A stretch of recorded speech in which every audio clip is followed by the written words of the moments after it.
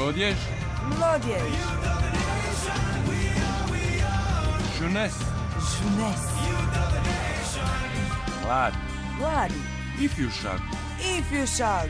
tineri, Tineri. jegd, Jeg. giovane, Giovane. ungdom, Ungdom. nuoriso, Nuoriso.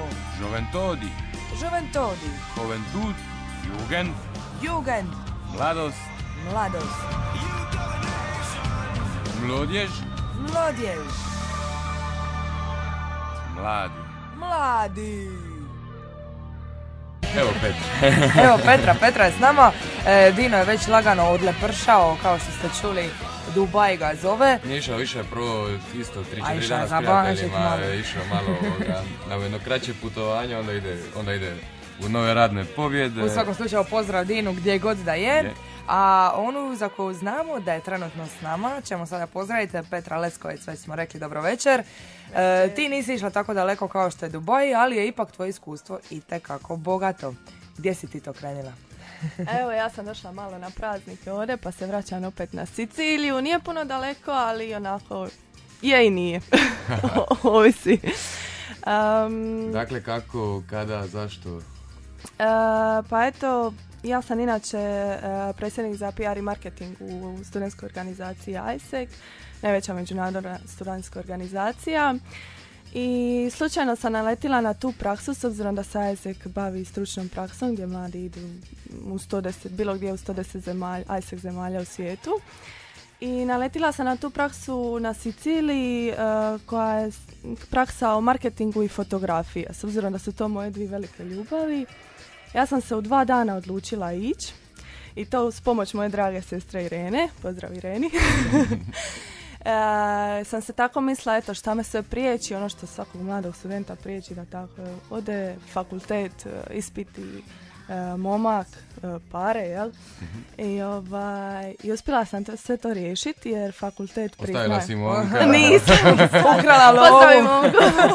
On me podržao svemu ovome, hvala Bogu. Na tome sam mu puno zahvalna. Ovaj, fakultet me isto podržao, dobila sam opravdanje za sve izostanke. E, to sam tamo htjela pitat, e, unatoč tome što si još uvijek student, možeš ići na stručnu Da, da, da, praksu. da, da, to mi je opravdano. Mo- Ekonomski fakultet u Splitu nas podržava i eto, pustili su me da odem na stručnu praksu jer vide i oni sami da će mi to kasnije pomoći pri zapošljavanju. Što uopće znači ta stručna praksa? Eto sad ti kažeš, e, dakle, tvoje dvije ljubavi, fotografija, marketing, ali kako, kako uopće to se spaja na takvim stručnim praksama, u kojem obliku se uopće usavršavate? Pa eto, u ISEC postoje dvije stručne prakse. Profesionalna i razvojna stručna praksa.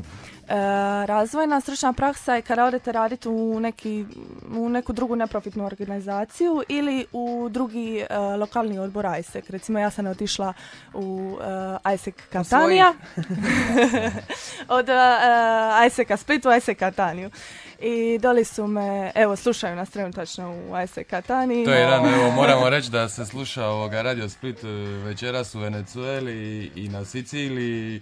Pa evo, jedan pozdrav, pozdrav. Ne znam, Ciao ragazze e, ra- e ragazzi, a uh, ISEC Catania, miss you, see you soon.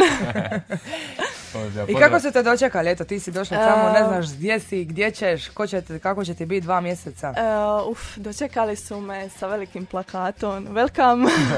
Tako da sam imala stvarno fenomenalnu dobrodošlicu. To je još jedna ISEC kultura, znači kad odete na praksu uvijek vas prvo ispratimo, isprati, uh, ako ste iz Splita, jel? Postoji pet lokalnih odbora u Hrvatskoj, pa sad ovisno iz kojeg se uvijek vas se odprati. I dočekava se, ovisno gdje idete, taj ISEC vas dočeka, tako da s tim nema problema. Uh, samo da se vrati na one vrste Da, da, prakse, da. znači postoji ta razvojna, E, ja sam eto išla na razvojnu u ISEC Kataniju i oni su me doli lijepo dočekali, recepcija je bila fenomenalna. I kod te razvojne prakse e, ne dobiva se plaća, ali je najčešće riješen e, smještaj i hrana. Da, da. Plaća se ne dobiva jer to je volonterski više, ali dobivate to jedno neprocjenjivo iskustvo koje će vam kasnije u životu sigurno značiti, kao što meni je.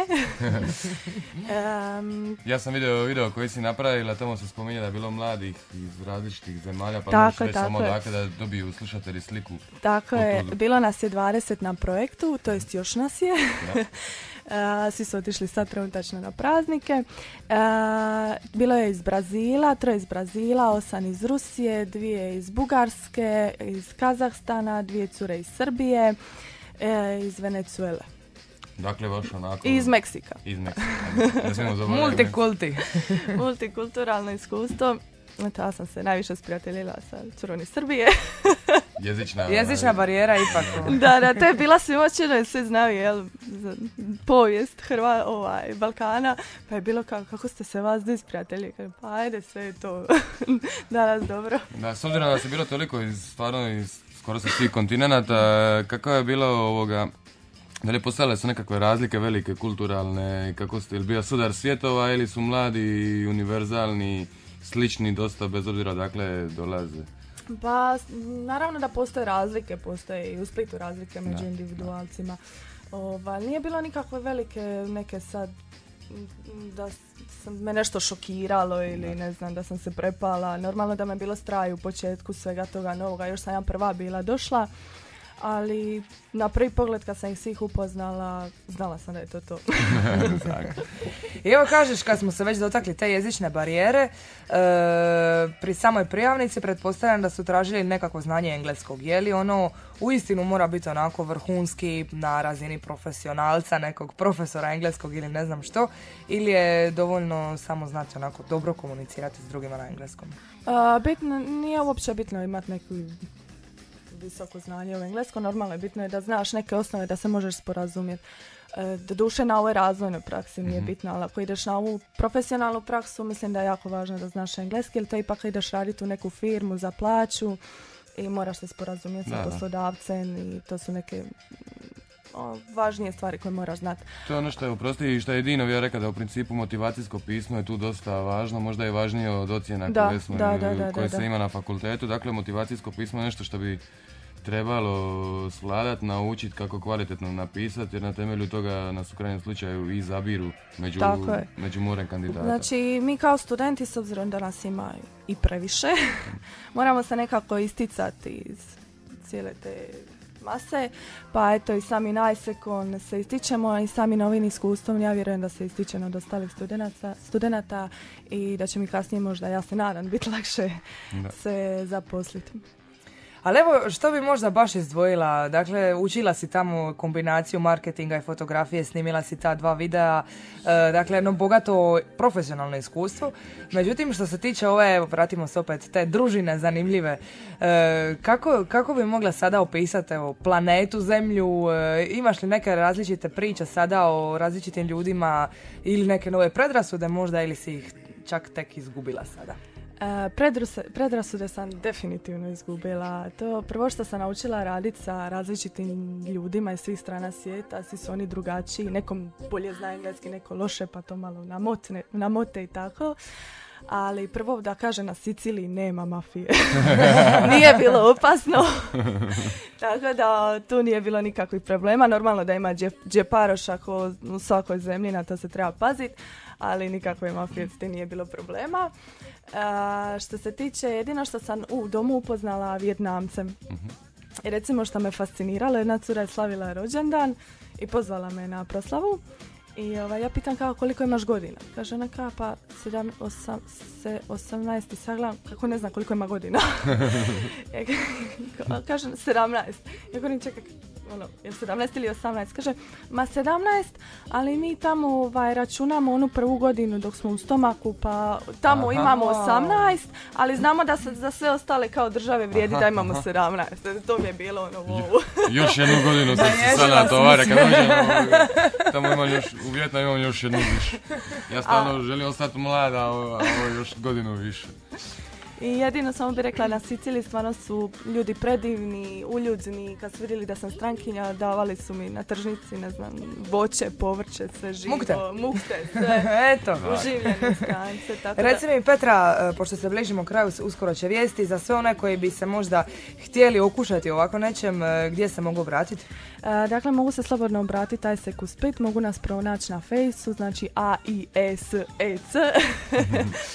Split ili mogu poslati e, na mail split.isek.gmail.com ili meni na malo smiješno zvuči, ali pleskovec, to je gmail.com. Ili se mogu javiti u infozonu pa vas mi spojimo. slobodno može.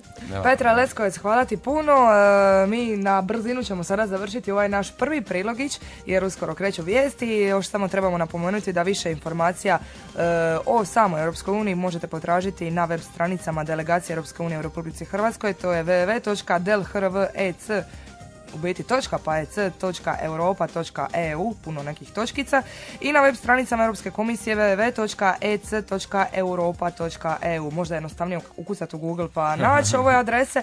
U svakom slučaju, ovo je posljednja emisija Infozone, prva sa ovakvim prilogom u ovoj godini. Petra Lesko je hvala puno. Imali smo i pripremljene neke natječaje za vas ali morat ćete ukucati i još jednu adresu, a to je split.com.hr, ona najpoznatija, pa ih sami potražiti. A do tada sretna nova godina Petri, sretna nova godina svima vama. I Venecueli. I Venecueli. A Sicili. I Sicili. Kako se kaže na talijanski, na brzinu? Uh, ne, eh, buon eh, Natale, ne, to je